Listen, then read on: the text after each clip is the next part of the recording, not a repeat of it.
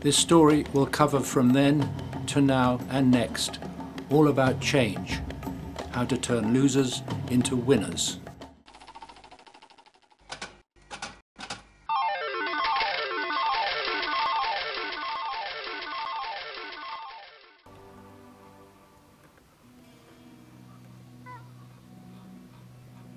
A griffon vulture is hungry, but its breakfast is hidden behind early morning mist near Tremp in the Spanish Pyrenees. In fact, a group of them are stacked up, waiting. These jumbo jets of the bird world run similar risks to other aviators. Potential for collision, pylons, and the cables between them. It's dangerous flying here. These days, vultures face many problems, particularly in relation to farming. In the past, dead livestock were usefully cleared by them. But now there's controversy and confusing regulations in France and Spain. But here's an answer.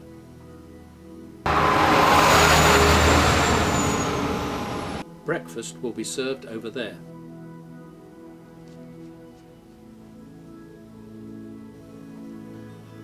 Welcome to the Tremp Rubbish Tip, one of the most modern, designed to use and recycle as much as possible of human rubbish.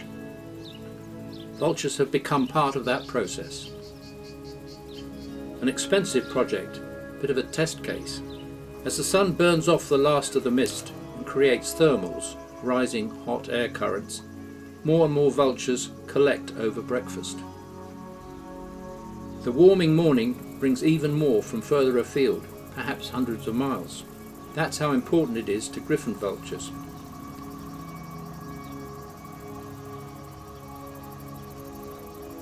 And Egyptian vultures feed here too. A summer visitor from Africa. Security is tight, a sanctuary of rubbish. The first to get there get the best bits, swapping elephants for trucks, both useful providers for this little vulture's lifestyle.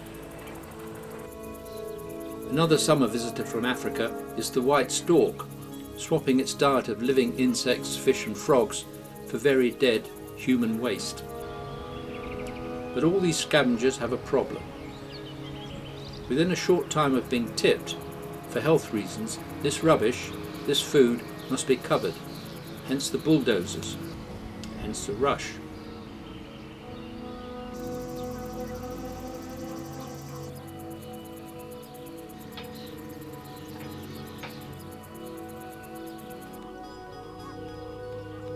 What poisons, what plastics may be swallowed from this brief opportunity?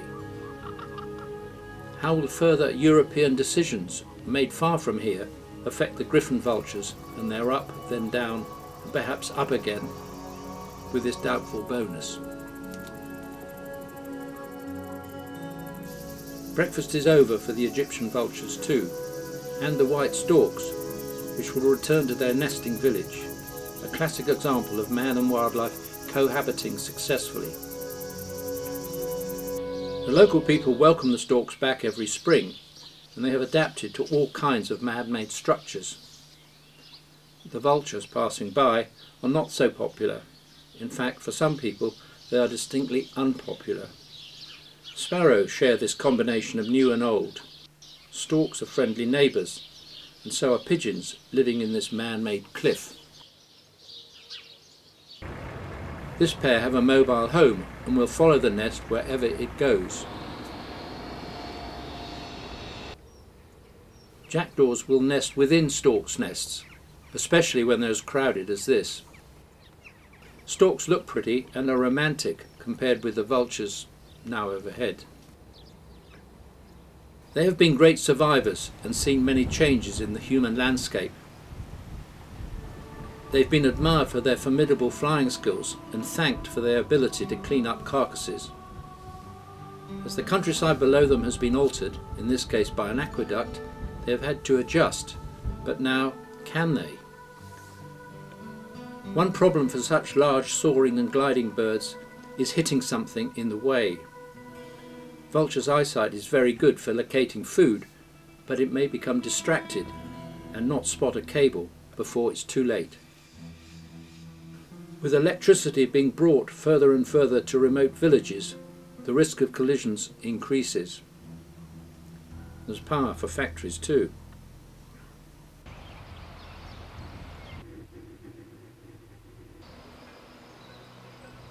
And over. In some places there's a warning on the wire. This large species, the black vulture, is rare across Europe. It's a powerful bird, but as they say, the bigger you are, the harder you fall.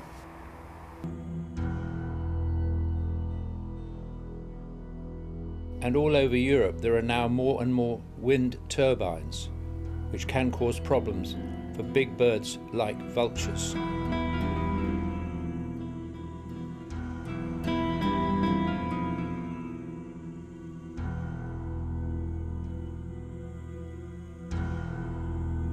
Luz para las torres estas. Del Milano tampoco queda nada, ¿eh? ¿También hay Milano ahí? This black vulture skull is in the caring hands of Manuel Aguilera Sanz. He and his friends are doing their very best to help vultures in this fast changing world. Sí, Que grave, le parole aussi. Quand parler, le grave. yeah. They're concerned about these unprotected, high powered lines. Vamos a ¿eh? No ponen protección. No, no ponen la protección. No. Il n'y a pas de protección. They want the authorities to recognize the problem. Decimos, hay que After all, we are invading their territory, El- el gobierno and they've been protected by wilderness for a very long time.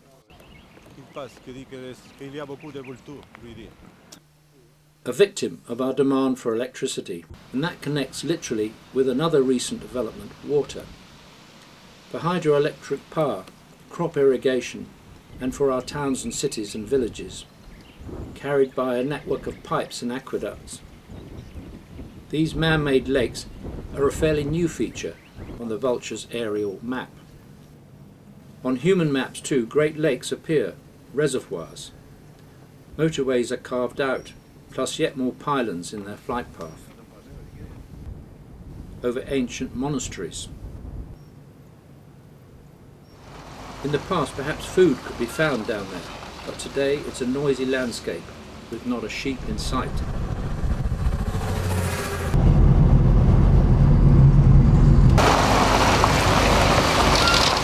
They're even rearranging the mountains, the original home of the vultures. Despite all the disturbance and intrusion, there are some compensations for the vultures. Humans are trying to repair the damage. In certain regulated places, food is provided. Vultures from the reservoir area may come here, or they may not, depending on what's been made available. Best to see is a bearded vulture, the star of the show. But for sure you'll see a red kite, that agile scavenger.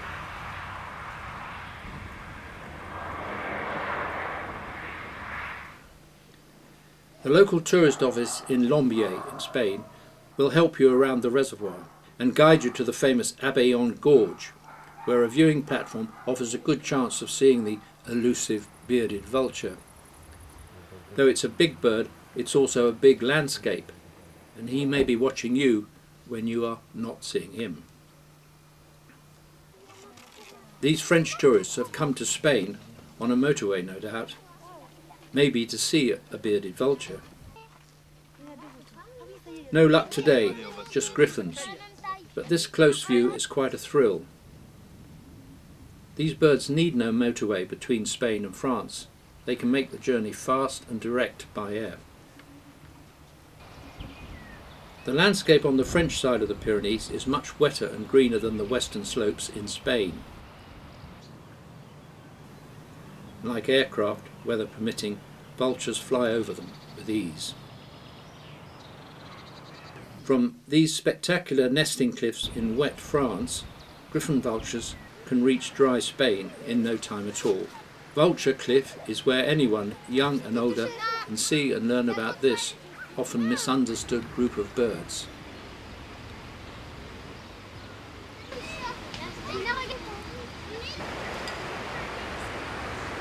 telescope helps. Crag Martin too.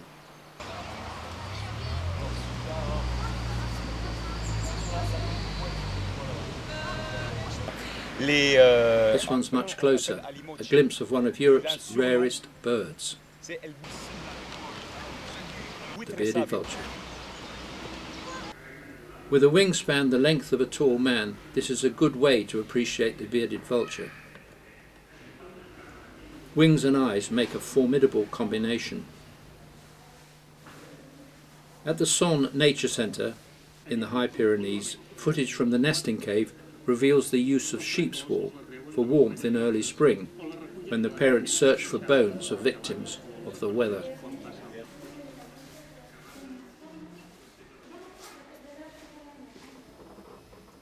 Son hopes that bearded vultures will one day move across, joining up with the Alps in France, where they're doing well. Sadly, farm animals die, and with a scientific permit, certain centres, like Son, can put those animals out as food for vultures. It may look a bit gruesome, but for vultures it's a way of life, or rather death. Helping vultures is not like helping pretty pandas, but Manuel and his team support them near his home. With great dedication, they feed and monitor the birds in this area from a hide. In this case, waste from a local chicken farm is on the menu.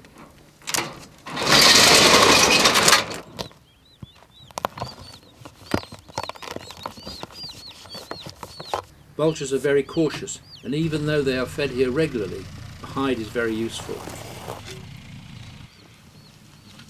There are other scavengers here too. Feral cats and storks from Manuel's village get an easy meal, and black kites swoop in for a snack. Manuel's crusade to help vultures and change their often negative image is shown when he makes regular trips to a spot about an hour away. Some of the birds near his village also travel there, probably in minutes, relying on the vulture internet as they see a feeding opportunity arriving. The more independent bearded vulture would be a great thrill if it decides to come down for the bones at the end of what is effectively a vulture show. An English nature trek group helped pay for the event, for which Manuel's red jacket makes all the difference. Ahora ellos ya me verán. Hey. Quebranta. La menjar.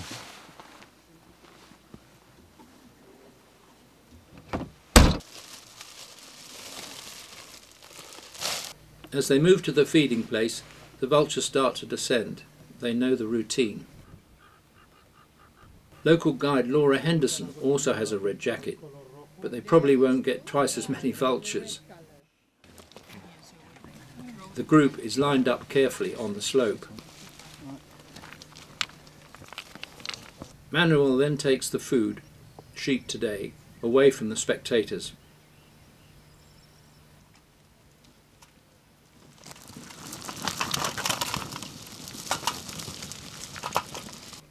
It's a case of first come, first served, and there's only so much to go round. And there are lots of vultures. Now Manuel backs away, drawing the vultures closer to the cameras, and still they come in.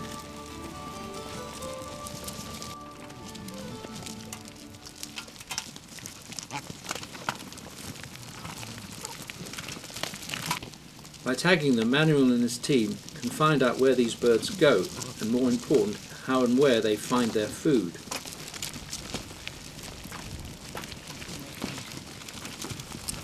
This sloping side is important because vultures need a good take-off spot, especially when loaded with food. So this is the end of the show. Latecomers may still be hungry. The last one leaves, and the Nature Trek group move to the little village of St Cilia, where a chapel has been turned into a museum about birds of prey, especially vultures. Below the bearded vulture, which sadly didn't land today, Manuel and Laura, who speaks English, fill the gaps in of the part of the, of the stone have, as you can how they bring back top, that food to the chick. they Upstairs, there are dioramas of many birds of prey, showing how they live in the Pyrenees. Star attraction is, of course, the bearded vulture, with its special ability to eat bones and break them, as in this classic footage.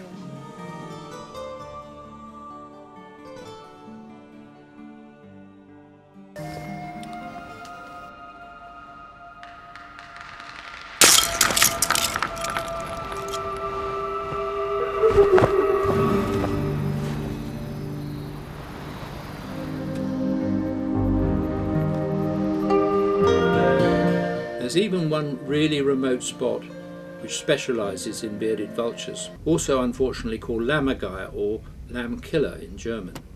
It's not true. Bone breaker is better.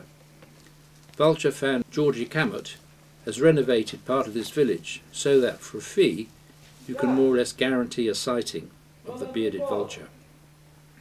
Yes, the, the feeding place uh, are in the, in the first field, Okay. on the left. Let me show you some other shots we got what are interesting. Chris Knights, one of Britain's best bird photographers, has come with some friends and they really got their money's worth with groups of bearded vultures, dark young ones and fine adults fighting over the So bones. it's not something. one of my finest bird watching days in 50 odd years. Great pictures, great experience in a great wilderness. And will this kind of so-called eco-tourism help vultures? Income from hotels, for camping and staying in a village B&B at any time of year.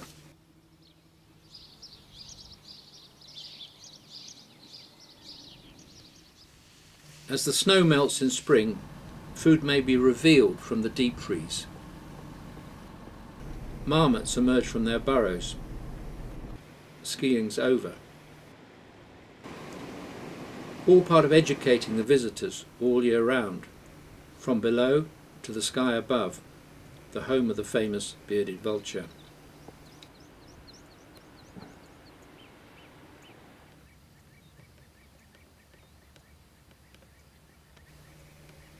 Ski lifts and cable cars and pylons reach almost everywhere now.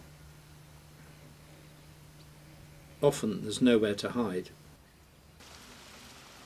Melting snow, streams, long green grass and warming weather.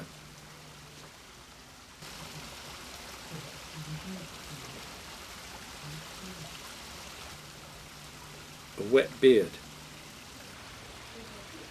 The pair bond is strong. The wide green country is shared by vultures, tourists and cows.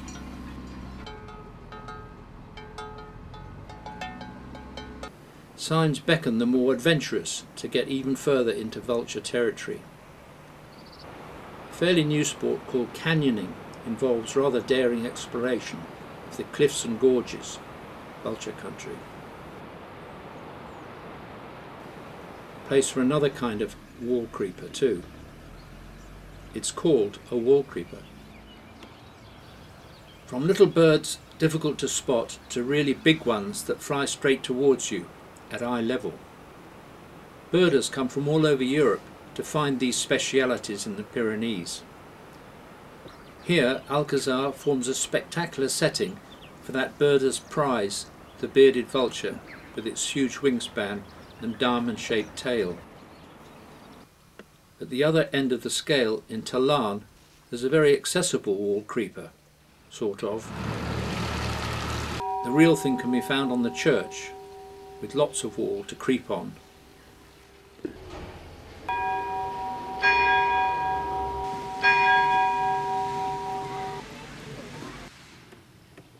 Whatever their size, all birds live by their feathers.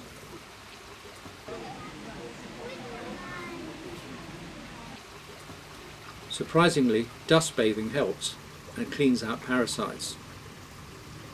The snowfinch seems to know that, and the wall creeper too.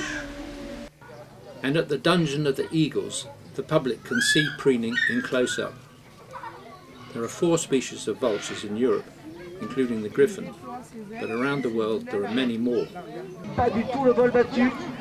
Et lorsque la météo est bonne comme aujourd'hui, on peut rester And here come the big boys, the heavy mob. ces grands planeurs. It's one thing to see them soaring overhead, but something else looking over your shoulder. Here at the old castle, whether it's birds of prey flying free high above, or spectacular trained vultures cruising low overhead, there's no doubt people are fascinated by these superb creatures. Vultures take us to the greatest of places, where humans climb on their cliffs so much that they wear vertical paths. Perhaps we envy their ability to soar so easily over the highest, most spectacular peaks in Europe and so silently. And we can join them. Using updrafts along ridges, these days you can birdwatch eye to eye, sharing the same air currents. With more understanding of the world of vultures, perhaps we can share our lives with them a little better.